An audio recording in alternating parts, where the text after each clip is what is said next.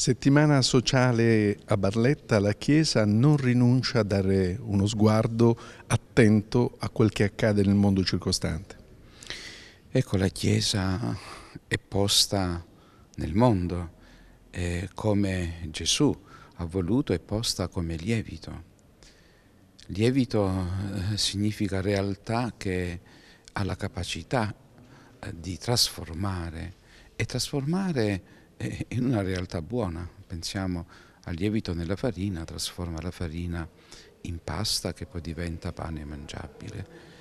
E questo lievito è costituito dalla dottrina sociale della Chiesa, per cui il richiamo che noi intendiamo dare a tutti, particolarmente ai laici che hanno la missione di agire nelle realtà temporali, è quello di non prescindere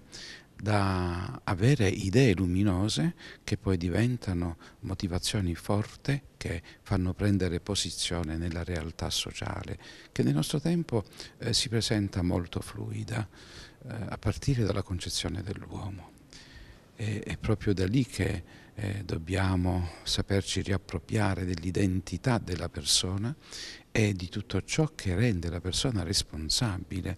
e anche tutto ciò che stimola la persona al senso del dovere, perché pare che nella nostra società eh, si rimanga fortemente individualisti, eh, rinchiusi nelle proprie convinzioni, magari eh, presuntuosi nel ritenersi risolutori di ogni cosa e invece la socialità esige proprio eh, questa relazione, questo mettersi in rete, ma in rete eh, su quale base? E quindi ecco eh, è necessaria eh, possedere ecco, la verità sull'uomo e la verità su ciò che l'uomo deve saper perseguire per il suo bene.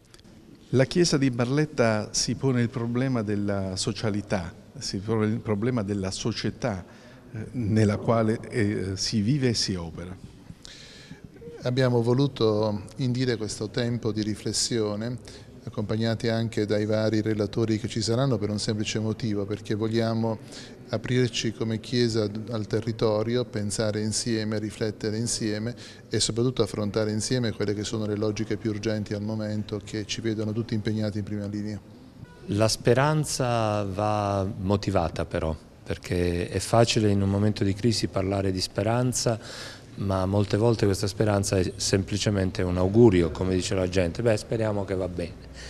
Il problema non è tanto solo augurarsi il bene, ci mancherebbe altro, ma capire le motivazioni che ci hanno portato a questo stato di crisi e vedere anche poi che tipo di impegno noi possiamo attuare per sperare con i piedi per terra, sperare fondati e questo vale sia per le singole persone, per i gruppi e soprattutto per il messaggio di speranza che la comunità cristiana può dare in un territorio, in una città.